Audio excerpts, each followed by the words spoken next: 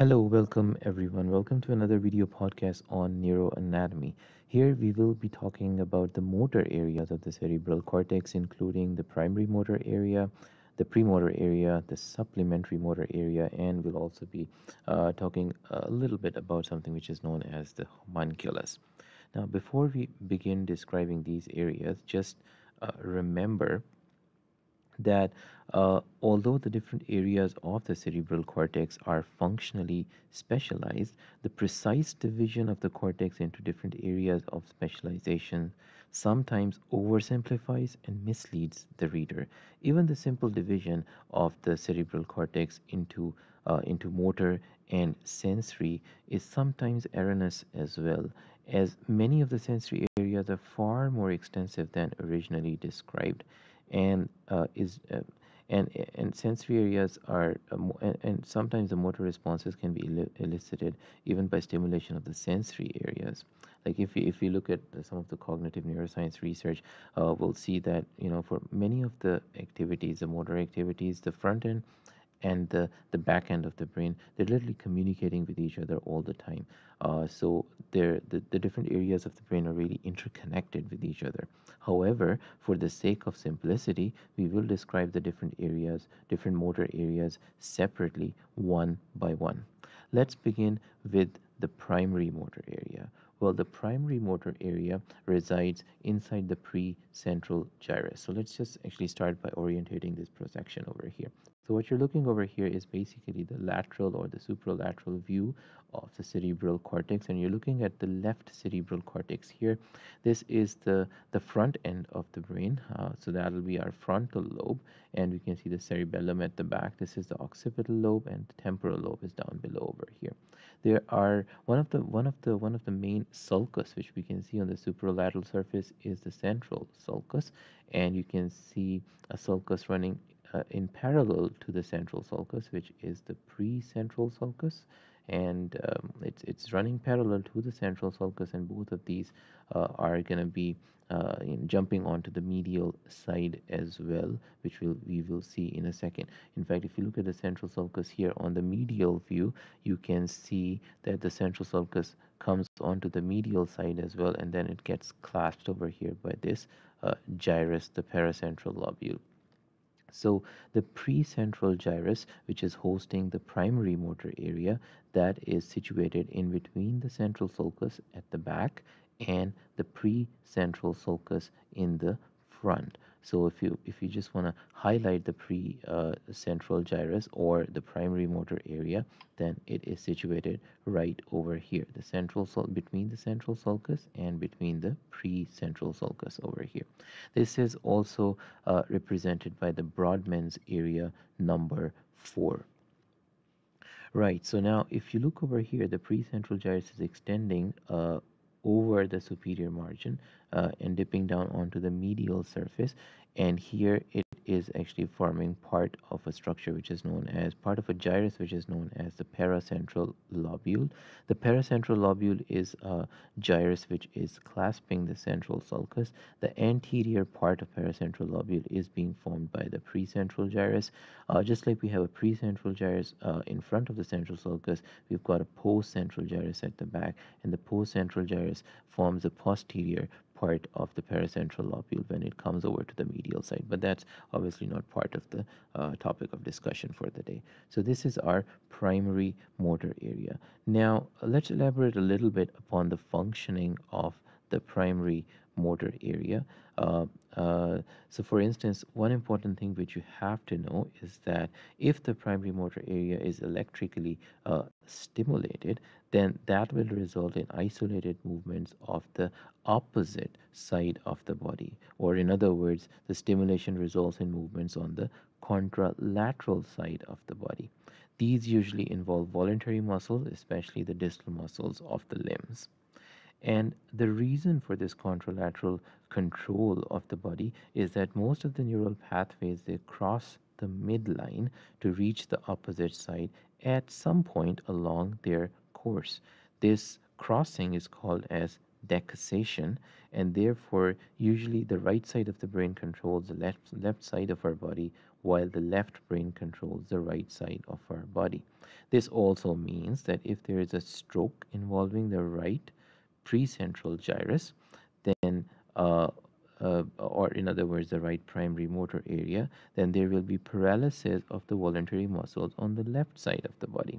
And here we're looking at the precentral gyrus on the left cerebral hemisphere. So if there's involvement of the uh, precentral gyrus on the left side because of the stroke of the vessel uh, or clot because of the clot of the vessel, let's say, which is supplying this area, then that would result in the paralysis of voluntary muscles on the right side of the body.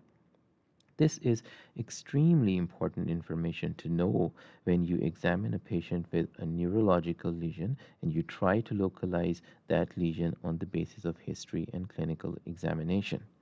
Now here I would like to take this opportunity to discuss about something which is called as the homunculus. Right, so let's just jump over to this illustration over here and what we can see over here is basically a, view of the superolateral uh, surfaces of the cerebral hemispheres, uh, this being the right side, this being the left side, and you can see the front end of the brain over here. Now, uh, this color-coded region basically represents the precentral gyrus, so we can see the central sulcus right behind it and precentral sulcus in front of it on the left side. Now, we've taken a coronal or a side-to-side -side section through the brain, and that section taken through the precentral gyrus has been shown over here, right? So you're looking at the medial surface of the brain over here. This is the superolateral view, and this would be the lateral sulcus. So we've got the parietal lobe at the top and temporal lobe down below. Right, now the movement areas of the body, uh, what you can see over here is that different body areas are kind of, you know, drawn in a cartoonic uh, uh, illust uh, illustration fashion on, on top of the cut section of the cerebral cortex, uh, you can probably appreciate that the movement areas of the body are represented in a sequential but in an inverted fashion uh, on the precentral gyrus. The somatotopic or organi this somatotopic organization of the body parts on the precentral gyrus is known as the motor homunculus. For instance, starting from below over here and passing superiorly are the structures involved in swallowing and those related to the movements of the tongue, jaw, lips, larynx, larynx, eyes. The next is an extensive, the next area is an extensive region for movement uh, of the fingers, especially the thumb and then the hand, wrist, and then come then comes the shoulder and the trunk. The movements of the hip and the knee are in the highest region of the precentral gyrus. The movements of the ankle, uh, the lower leg, the ankle, uh, they are all represented on the uh, on the medial surface of the cerebral hemisphere in the paracentral lobule. So basically over here. Uh, similarly, the movements of the anal and the and the vesical sphincters are also located on the paracentral lobule. Now, what you can probably appreciate here is that the area of the cortex which is controlling a particular movement is proportional to, to the skill involved in performing the movement. In other words, the complexity and the fineness of the movement and is unrelated to the mass of the muscle participating in the in the, in that movement. So uh, you can probably see the trunk musculature and the leg musculature don't have as big uh, a representative area on the cerebral cortex as the, the fine intricate uh, uh, uh, movements of the hands and the and the head and neck area require. Uh, thus, the function of the of the primary motor area is to carry out individual movements of different parts of the body. Uh, to assist in this function, it receives numerous afferent fibers from the premotor area, the sensory cortex, the thalamus, the cerebellum, and the basal ganglia, and many other structures. The primary motor cortex, the thing which is important to know over here is that the primary motor cortex is not responsible for the design of the pattern of movement. It's not responsible in the planning of movement, but it is the final station for conversion of of that planned movement into execution uh, so what in other words what i'm saying is that the premotor area once it is done with planning of the movement that planned movement is sent to the primary motor cortex in the precentral gyrus and then it is just simply executed from over there through the descending pathways such as the corticospinal pathways and many others now since we have talked a little bit about the homunculus. So how about if we actually just uh, elaborate upon this a little bit more by talking about the vasculature of the cerebral cortex through the cerebral arteries because then uh, this would actually give you an opportunity to understand the clinical significance of knowing the homuncular uh, arrangement of the body representation on this on the on the precentral gyrus. Uh, so what you can see over here is that uh, we've got uh, uh, an artery over here called anterior cerebral artery and another one which is known as the middle cerebral artery. Both of these arteries are involved. They're branches of the of the internal carotid artery and they are responsible for uh, supplying the cerebral cortex and uh, there's another artery which is called the posterior cerebral artery, but we're not uh, concerned with that for now. Now, an important thing uh, to know here is that the anterior cerebral artery, so if you, if we just look over here, the anterior cerebral artery is supplying the cortical region on the medial side and perhaps a, a, a centimeter long strip of cortex on the supralateral surface. So uh, all the cortical areas uh, in the motor homunculus which are responsible for controlling the body movements of the of the lower part of the body such as the lower limbs uh, would be compromised if there is let's say a stroke involving the anterior cerebral artery. On the contrary the middle cerebral artery if you look over here it has uh, an area of vascular supply on the supralateral surface in a region where the upper limbs are being represented or the head and neck area is being represented.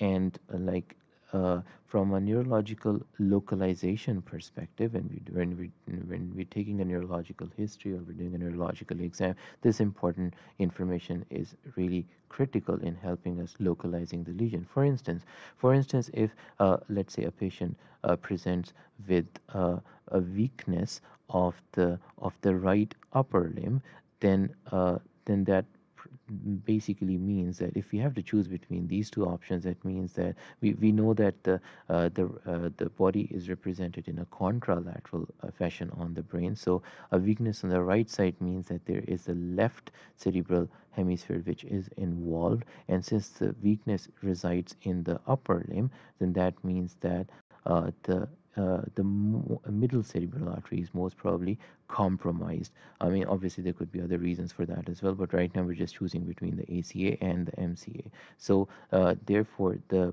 potential uh, answer is uh, a stroke in the uh, distribution of the middle cerebral artery on the left side. Similarly, if there is a patient, let's say, let's take another case example. So if there is a weakness, if there's a paralysis of the lower limb on the right side, then that means there is involvement this time of the anterior cerebral artery on the left side. So left MCA could be the right answer. Similarly, for the left arm weakness, a right uh, a right MCA would be the possible answer. And uh, lastly, if let's say a patient presents with a weakness on the left side but in the legs, then that means the right sided artery is involved. And since the legs are involved, then most probably a right sided ACA is involved. So, this is how we actually apply this information clinically to localize the lesion. Now, let's jump over to the next area, which is the next motor area, which is the pre motor area. Let's talk about that a little bit. So I'm just I'm just gonna uh, go back to our previous illustration over here where we kind of color coded the precentral gyrus, which is the primary motor area. Now let's have a look as to where the premotor area is situated. This has been color coded in yellow over here.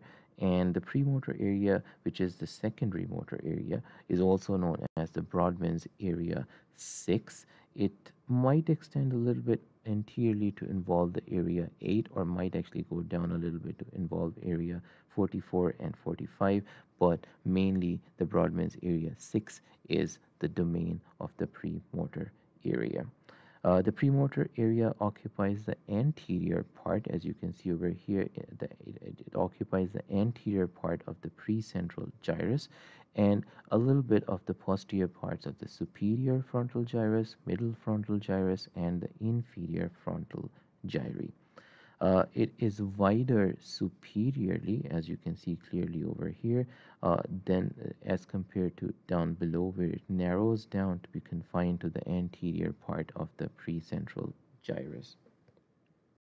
Electrical stimulation of the of the premotor area produces muscular movement similar to those obtained by uh, stimulation of the primary motor area. However, stronger stimulation is necessary to produce the same degree of movement. The premotor area receives numerous inputs from the sensory cortex, the thalamus, the basal ganglia. Uh, however, the important thing to know over here is that the function of the premotor area is uh, basically the planning of the movement. Uh, it stores the programs of motor activity assembled as a result of past experience. Uh, so motor area, the, so the premotor motor area basically programs the activity of the primary motor area. Once the planning is done in the premotor area, in conjunction with the higher order association areas, that motor program is sent to the primary motor area, and the primary motor area, uh, which is the Brodmann's area number four, or the precentral gyrus, that just simply executes the movement. Uh, the premotor area is particularly involved in controlling the coarse postural movements uh, rather than the distal movements, which are uh, particularly linked with the precentral gyrus. Uh, and uh, the postural movements would primarily involve the proximal and the axial body musculature. Lesions in the dominant hemisphere uh, in the in the premotor area uh, they would lead to something which is known as apraxia. Apraxia uh, would result as a result of distortion of the planning of the movements. However, we might not actually see an overt paralysis, which is um, uh, which, which which which becomes evident when there is a lesion in the precentral gyrus. So that's a little bit of a difference between the precentral and the between the primary motor area and the premotor area. Lastly, we've got an area which is known as the supplementary motor area, uh, which also uh, more or less falls within the domain of the Brodmann's area 6. It is located on the medial uh, surface of the cerebral hemisphere, right anterior to the paracentral lobule. So this is the paracentral lobule, and this is the anterior, uh, this, this, this region over here, anterior to the paracentral lobule, is the area where the uh, supplementary motor area is going to be present. The supplementary motor area also does contribute to the corticospinal tracts, uh, just like the premotor area. It plays an important role in the programming of the motor sequences, and so therefore the stimulation results in coordinated uh, movements of the limbs. And if there's a lesion results uh, resulting in the supplementary motor area, then that would actually uh, lead to planning deficits and some kind of an apraxia but an overt paralysis once again is not seen uh, which is basically a hallmark of a lesion in the precentral gyrus Right, to sum up, uh, to summarize, we basically have talked about the location of the primary motor areas, the premotor area, and the supplementary motor area. We've talked about the functions of these regions, how the precentral gyrus is more concerned with the execution of the movement, and hence the lesion over there results in a total paralysis. But uh, unlike the precentral gyrus, the premotor and supplementary, supplementary motor areas are higher um, uh, order areas compared to the primary motor area. So they're more concerned with the planning of the movement, and lesion over there results in uh, distortion of the of the of the planning of the movement or resulting in, in discoordinated movement if you want to put it that way which is uh, known as apraxia but an overt paralysis does not occur. And we also talked about uh, the sequential inverted representation of the body uh, on the precentral gyrus uh, which is known as the motor homunculus. And then in that context we discussed a little bit about the blood supply of the cortex the ACA and the MCA supplying different parts of the cortex and how do we actually interlink all this information to localize a lesion uh, on history and clinical examination.